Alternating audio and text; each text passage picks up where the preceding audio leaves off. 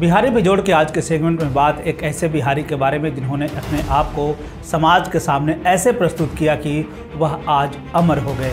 इस व्यक्ति का कार्य और इनकी मेहनत इतना बड़ा था कि वह किसी आम व्यक्ति के बूते की बात नहीं थी। हालाँकि बाद के समय में लोगों ने उन्हें खूब परेशान भी किया, लेकिन वे कहते हैं ना कि संकल्प का कोई विकल्प नहीं होता। ठीक उसी तरह से बिहार के इस लाल ने भी जब ठान लिया तो उसे करके ही पूरा किया था। हम बात कर रहे हैं दशरथ मांझी के बारे में। दशरथ मांझी का जन्म बिहार के गया ज़िले के गहलौर गाँव में हुआ था। वो भी एक गरीब परिवार में।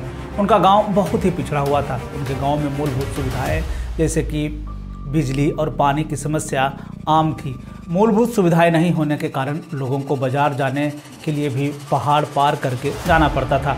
उसमें दशरथ मांझी के परिवार के लिए एक वक्त का खाना भी मुश्किल था, यानी कि गरीबी का यह आलम था। दशरथ मांझी का बाल विवाह हुआ था। उनके गाँव में न तो बिजली थी और ना ही पानी, जिसके कारण लोगों को काफ़ी परेशानी का सामना करना पड़ा था। इस दौरान अगर कोई भी व्यक्ति बीमार होता तो उसे अस्पताल ले जाने के लिए पहाड़ पार करके शहर जाना पड़ता था।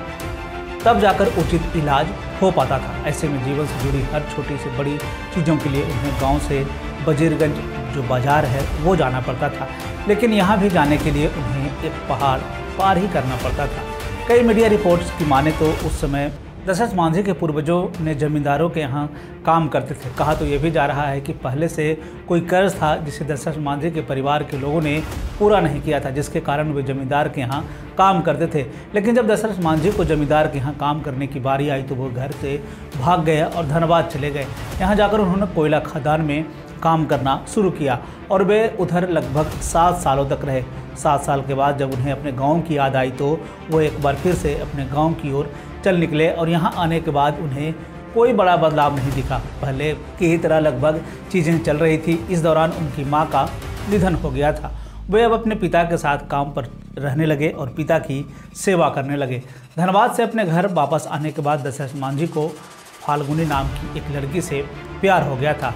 दोनों एक दूसरे को प्यार करने लगे थे। बाद के दिनों में दोनों ने मिलकर, यानी कि दोनों ने भाग कर शादी कर ली। दशरथ मांझी फाल्गुनी को प्यार से फगुनिया कहकर भी बुलाते थे। दशरथ मांझी का परिवार भले ही गरीब था, लेकिन इन दोनों की ज़िंदगी अच्छी चल रही थी। लेकिन इस हँसते खेलते परिवार पर किसी की नज़र पड़ गई। एक दिन फाल्गुनी अपने दशरथ मांझी के लिए खाना लेकर जा रही थी, तभी पहाड़ पर उनका पैर फिसल गया और वह जख्मी हो गई। जब उन्हें अस्पताल ले जाया गया, तब फाल्गुनी की रास्ते में ही जान जा चुकी थी। इस घटना के बाद दशरथ मांझी पूरी तरह से टूट गए।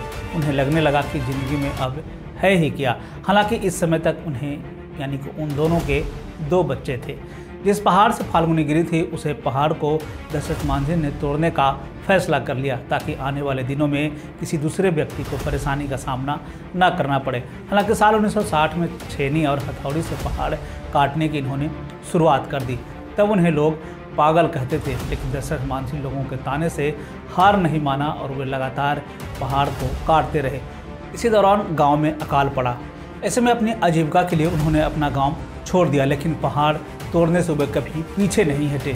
यह वह समय था जब देश में आपातकाल जैसे हालात थे, यानी कि उस समय 1975 में इंदिरा गांधी बिहार आई थी। वह जिस मंच से भाषण दे रही थी, वह मंच टूट गया था। उस मंच को दशरथ मांझी ने ही संभाला था, जिसके बाद इंदिरा गांधी का भाषण पूरा हो पाया। इस घटना के बाद इंदिरा गांधी दशरथ मांझी के साथ एक फ़ोटो भी खिंचवाती है। यह घटना पूरे इलाके में आग की तरह फैल गई। इस घटना के बाद यह भी कहा जाता है कि दशरथ मांझी उस समय खूब पॉपुलर हो गए थे। तब जमींदार ने उनसे सादे कागज़ पर अंगूठे का निशान लगवा लिया था कि हम इस पूरे इलाके में सड़क बनवाएँगे और ज़मींदार ने सड़क बनवाने के नाम पर 25 लाख रुपये सरकार से निकलवा लिए। जब यह बात की जानकारी दशरथ मांझी को मिली तो वे काफ़ी गुस्से में हुए और वो इसकी शिकायत करने के लिए वे दिल्ली जाने का मन बना लिया। लेकिन उस समय उनके पैकेट में इतने पैसे नहीं थे कि वे ट्रेन में रिजर्वेशन करवा कर यह दौरा कर सके, यानी कि दिल्ली जा सके। इस दौरान की एक घटना का ज़िक्र किया जाता है, जिसमें यह बताया जाता है कि दशरथ मांझी जब ट्रेन से जा रहे थे तो पैसे नहीं होने के कारण उन्हें ट्रेन से उतार दिया गया। लेकिन वे पैदल ही दिल्ली चले गए। उस दौरान देश में इमरजेंसी था। ऐसे में पूरे में, यानी कि पूरे प्रदेश कह लें देश कह लें सब जगह झड़प जैसे हालात थे। ऐसे में पुलिस ने दशरथ मांझी को प्रधानमंत्री से मिलने से मना कर दिया और वे बिना मिले ही दिल्ली से बिहार वापस आ गए। उनकी सारी उम्मीदों पर पानी फिर गया। उनका अब पहाड़ तोड़ने का भी इरादा कमज़ोर होता जा रहा था, लेकिन उनके साथ अब कई लोग जुड़ने लगे थे। उनकी हिम्मत अब धीरे धीरे पहाड़ तोड़ने के प्रति बढ़ने लगी। लेकिन इधर जमींदार दशरथ और उनके साथ के लोगों को गिरफ़्तार करवा देता है। लेकिन दशरथ को इस दौरान साथ मिला एक पत्रकार का, जिसने जेल में विरोध करना शुरू कर दिया, जिसके बाद दशरथ मांझी को छोड़ दिया गया। इसके बाद के लगातार पहाड़ तोड़ते रहे, इनके साथ और भी लोग जुड़ते रहे। एक दिन वह आ ही गया जब दशरथ मांझी ने उस पहाड़ का सीना चीर दिया और एक रास्ता बना दिया। दशरथ मांझी ने इस दौरान 360 फुट लंबा 30 फुट चौड़ा और 25 फुट ऊँचे पहाड़ को काट कर एक रास्ता बना दिया। यह काम इतना भी आसान नहीं है। आज के ज़माने में अगर हम बात करें तो इसके लिए मशीनों का इस्तेमाल किया जाता और करीब एक महीने से ज़्यादा समय इस पूरे रोड को बनाने में लगता है, जिसे दशरथ मांझी ने अपने हाथों से पहाड़ को काट कर एक रास्ता बना दिया। उन्होंने इस रोड को बनाने में 22 साल का एक लंबा वक्त लगा, लेकिन उन्होंने दिखाया, इंसान अगर चाह ले तो कुछ भी कर सकता है।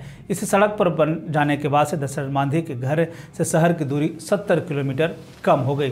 दशरथ मांझी को उनके कार्य के लिए सही पहचान नीतीश कुमार के मुख्यमंत्री बनने के बाद मिली। जब नीतीश कुमार ने साल 2006 में बिहार के मुख्यमंत्री थे तो उन्होंने दशरथ मांझी को पद्मश्री देने की घोषणा की।